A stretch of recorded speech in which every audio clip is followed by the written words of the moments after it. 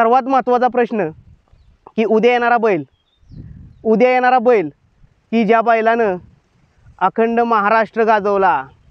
महाराष्ट्रातील नावलौकिक मैदानं त्या नावलौकिक मैदानामध्ये एक नंबरचा मानकरी तो बैल झाला. फिल्म स्टार असेल किंवा एखादा मोठा खेळाडू असेल त्यांना बघण्यासाठी गर बघण्यासाठी गर्दी जी होत नाही ती गर्दी भारतला बघायला. वडकीच्या मैदानामध्ये भारतचा आणि मैब्याच्या गाडीला जबरदस्त गॅस लागला होता. असा हा भारत.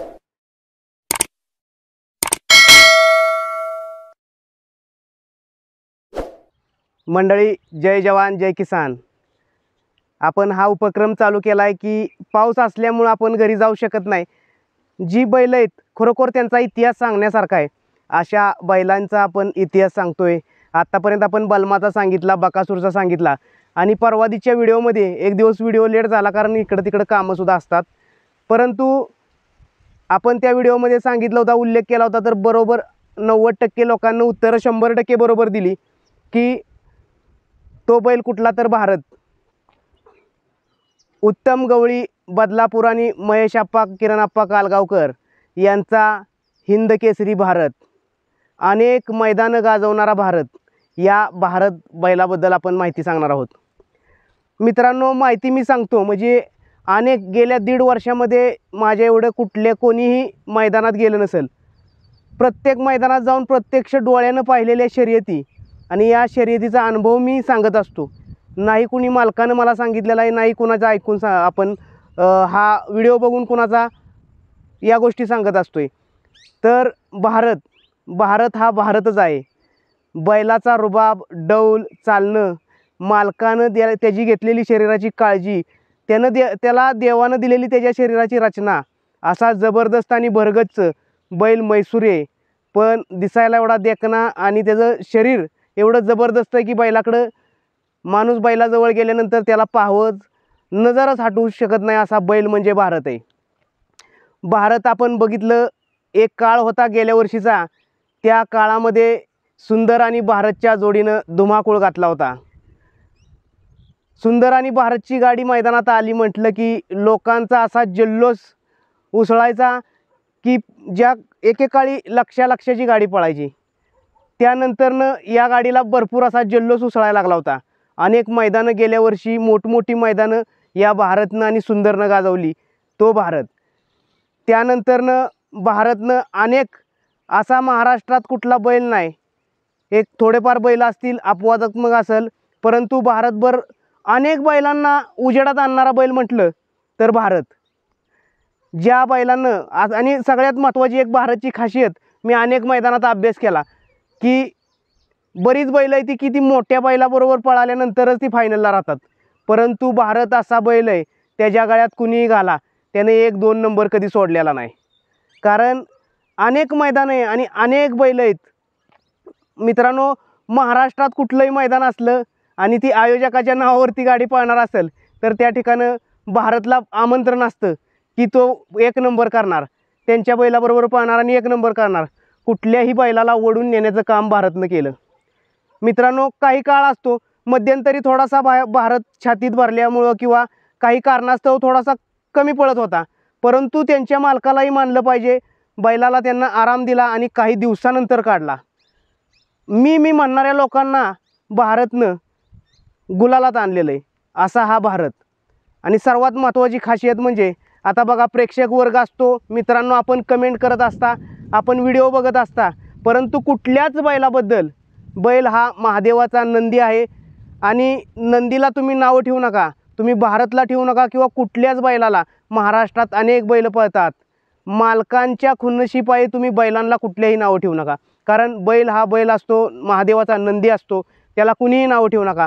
आज नाही पळाला उद्या पळणार. आज एकानं मैदान मारलं उद्या दुसरा मारणार. परंतु बैलाला कुठल्याही नावं ठेवू नका.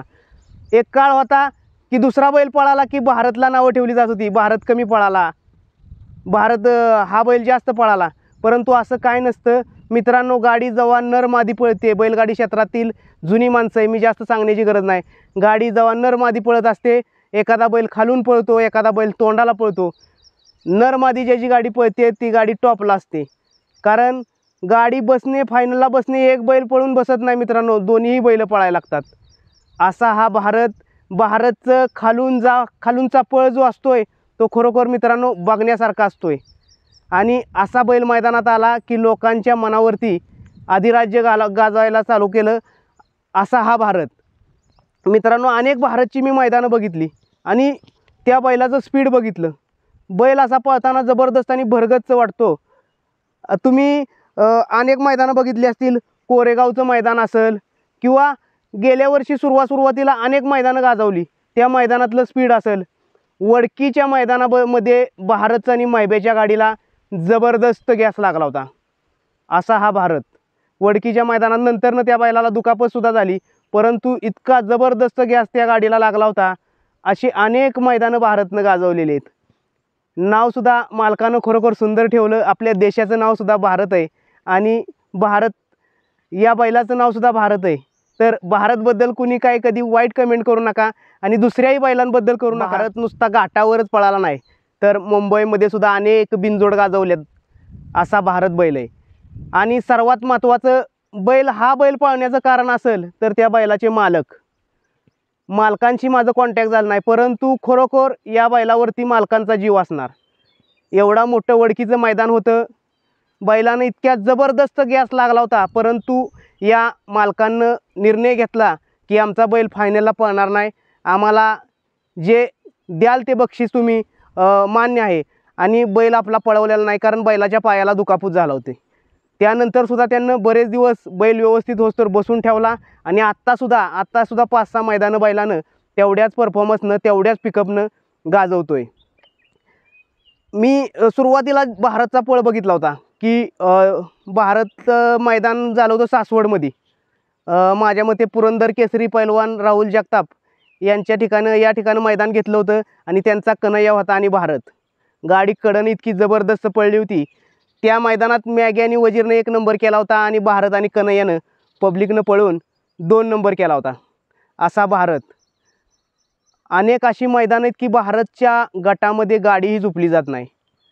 इतका जबरदस्त पळ आणि लोकांच्या मनात दुगदुगी लागती.